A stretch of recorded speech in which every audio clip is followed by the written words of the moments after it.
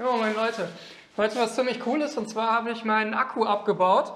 Ähm, ich zeige euch nochmal ein Bild, wo der vorher stand. Der stand im Kellerraum.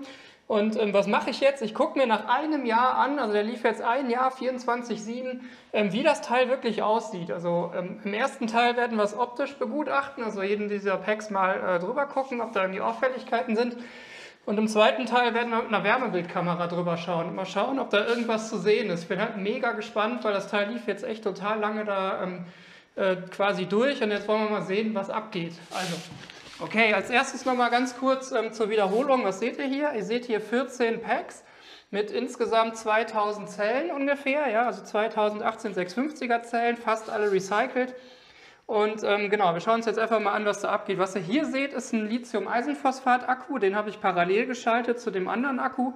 Ähm, natürlich die äh, Spannungsbereiche angeglichen und so weiter, dann passt das. Das ganze Teil hat insgesamt 15 Kilowattstunden, also es ist halt wirklich ein sehr großer Akku und hat mir bisher extrem gute Dienste geleistet. Also bin ich wirklich gespannt, ähm, ob es dem wirklich noch gut geht. Ja, ähm, dann machen wir einfach mal, ich, ich blende einfach mal ähm, dieses Pack hier ein, da ist nämlich zum Beispiel schon mal ein bisschen was zu sehen. Ähm, ich will jetzt hier nicht alles einzeln zeigen, weil das ist, glaube ich, relativ langweilig für euch. Die meisten sehen ganz gut aus, aber hier kann man zum Beispiel schon mal ein bisschen was sehen und das schauen wir uns an.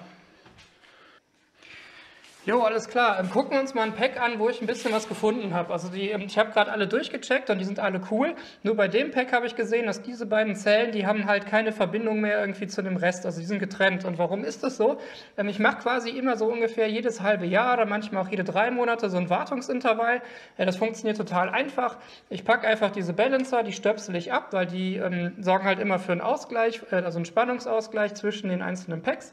Und ähm, also wenn ich die dran habe, kann ich nichts sehen, ne? dann, dann passiert einfach nichts. Und wenn ich die abkopple, dann kann ich halt zum Beispiel erkennen, ob dieses Pack irgendwie Spannung verliert. Und das hat es.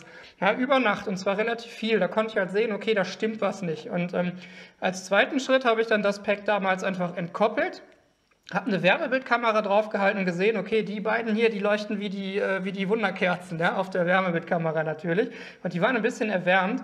Und das zeigt dir halt an, dass die beiden hier Spannung verloren haben. Und deswegen habe ich die getrennt. Die sind dann auf 0 Volt runtergegangen und sind jetzt praktisch einfach tot. Ja, also die sind hier einfach überhaupt nicht mehr, die machen nichts mehr. Und diese Wartungsintervalle sind mega wichtig, wenn ihr solche Packs habt. Ja, die müsst ihr regelmäßig machen. Es reicht einfach nur Balancer ab, checken, verliert es irgendwie Spannung? Wenn ja, ist äh, schlecht, dann müsst ihr drauf gucken. Wenn nein, alles cool. Okay, was machen wir jetzt im nächsten Schritt? Im nächsten Schritt schauen wir uns das Ganze hier mit dieser Wärmebildkamera an. Ich nehme das auch auf. Und ähm, was ist das für eine? Das ist so eine Seek Thermal Wärmebildkamera. Warum habe ich die gekauft und nicht so eine FILR? Ähm, der Grund ist einfach die Auflösung, weil bei den FILR ähm, kriegst du für dasselbe Geld eine viel schlechtere Auflösung und kannst halt die, die einzelnen Zellen nicht mehr erkennen auf dem Wärmebild. Das heißt, es bringt dir nichts. Oder du musst halt ein sauteures Ding kaufen. Und das Ding war einfach günstiger, kannst du ans Handy stöpseln klappt wunderbar, okay? Ähm, so, im nächsten Schritt, ähm, ich gehe einfach mal die Packs so durch und wir schauen uns dann hier mal an, ähm, ich nehme es auch als Video auf, könnt ihr euch gleich angucken, was man hier so sehen kann. Okay, starten wir. erstes Pack, man sieht nichts. Also ihr müsst halt immer bedenken, dass, dass man genau das sehen will, also möglichst eine, eine ebene Fläche, ja. Also man will halt eigentlich nichts, keine Anomalien in irgendeiner Form sehen. Das, was hier so hell leuchtet, das, also ihr seht jetzt gerade meine Hand, das hier, was ich zeige, das ist das, das BMS-Modul, das soll ruhig so hell leuchten. Upsala. So, gehen wir zum nächsten Pack. Ist auch komplett ähm, anomaliefrei. Zum nächsten Pack, da oben seht ihr wieder das BMS. Da das nächste Pack auch wieder komplett unauffällig. Und das letzte Pack auch unauffällig. Okay. Checken wir hier. Unauffällig, unauffällig, kann man jetzt eigentlich so durchgehen. Also da ist wirklich nichts zu erkennen.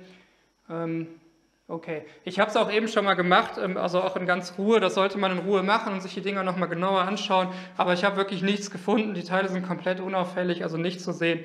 Aber so könnt ihr halt erkennen, wie das funktioniert. Wenn ihr da halt irgendwo einen hellen Fleck seht, also ihr seht, irgendeine Zelle ist viel wärmer als die anderen, dann wisst ihr, da stimmt was nicht, dann müsst ihr drauf gucken. Jo, alles klar. Also ihr habt jetzt gesehen, ich habe das Ganze hier ordentlich gecheckt und so. Und es hat, ähm, wie gesagt, ich habe jetzt hier keine Anomalien gefunden. Alles super. Ähm, ich fand es mega interessant, ähm, wie gesagt, nach einem Jahr sich das Ganze mal anzusehen und so. Das ist ja schon irgendwie eine spannende Nummer. Ähm, naja, egal. Ähm, wie gesagt, jetzt kann das Ding umziehen in den Container, wo ich es reinpacke. Das, da kommt natürlich auch noch eine Folge, die seht ihr dann bald. ähm, wenn ich meine Anlage upgrade und komplett umziehen lasse. Das werde ich euch natürlich alles zeigen. Ansonsten ähm, vielen Dank fürs Zuschauen.